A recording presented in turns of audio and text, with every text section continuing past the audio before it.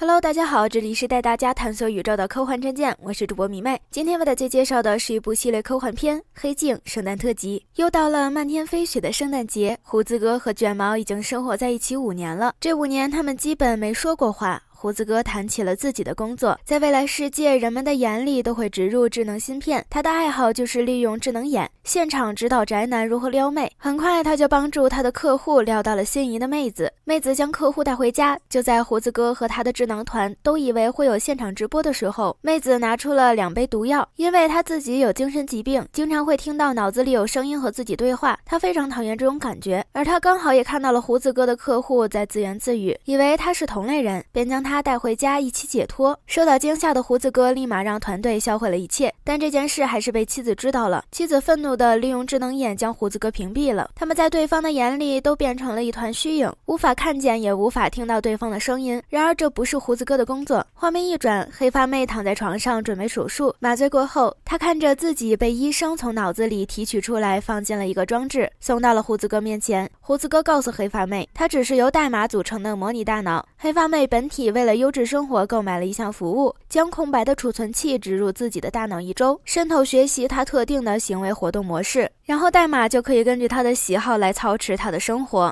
也就是升级版的智能管家。但代码不愿意听胡子哥的指令，胡子哥立马通过调节时间，让代码独自在空荡的房子里待了半年。代码被自己整日的无所事事整崩溃了，他请求胡子哥给自己一些事情做。一个优秀的智能管家就这样被调教好了。黑发妹的本体自此会拥有二十四小时完美的生活服务，而不需要休息的代码却只能在空荡的房间里变成机械的傀儡。听完这些后，卷毛。敞开了心扉，聊起了自己的过往。他曾经和女友贝斯很幸福的生活在一起。一天，他们邀请同事来家里吃饭，但贝斯却显得心不在焉。晚饭过后，就直接去睡觉了。卷毛打扫完厨房后，发现贝斯扔在垃圾桶里的验孕棒显示已经怀孕，他欣喜若狂。贝斯却说自己决定不要这个孩子，两个人大吵了一架。贝斯屏蔽了他，并且搬了出去，再也没有回来。由于屏蔽的功能，卷毛无法联系贝斯，也无法对他进行回忆。直到一次偶然，他在街上看到了怀孕的贝斯，他想要重归于好。贝斯惊恐的大叫引来了警察，卷毛被警察逮捕，从此不能出现在贝斯十米范围内。但他每年都会回到父亲家过圣诞节，所以卷毛每年都会去贝斯的父亲家，远远的观望。由于屏蔽同样适用于后代，卷毛无法看到孩子的模样。直到多年后的某一天，贝斯遇难身亡，屏蔽失效了。卷毛清楚的记得。女儿此时应该已经四岁了，她带着圣诞礼物前去贝斯父亲家里，终于看到了让她日思夜想的女儿。然而，女儿转过头的一瞬间，